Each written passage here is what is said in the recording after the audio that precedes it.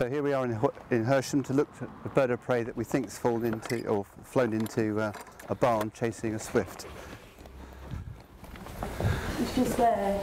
Just see where he's turned round on the bit of board that's flapping down. Oh, okay. See him? Yeah. Looks like a little sparrowhawk. Let's see if we can get in here. Oh yeah, certainly sharp.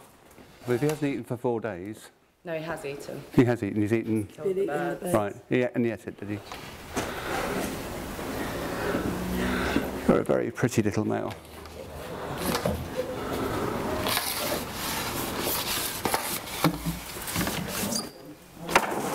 Gotcha. I've gotcha. I've gotcha. I've gotcha. Perfect. One little male sparrowhawk. Just check you over while we're here. Don't you bite me. Yeah, all our wings, feathers are nicely there. Yes, you're going to bite me, aren't you? The other one? No bruising? Nope. Okay, in that case, if you'd be so kind to let go of my finger, I'll take you straight outside and release you. You're a beauty, aren't you? Right, are you ready to go?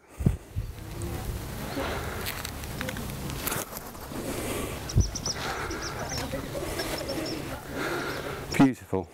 There it goes. If you like our videos, click on the subscribe button. Every new subscriber means we can save more wildlife.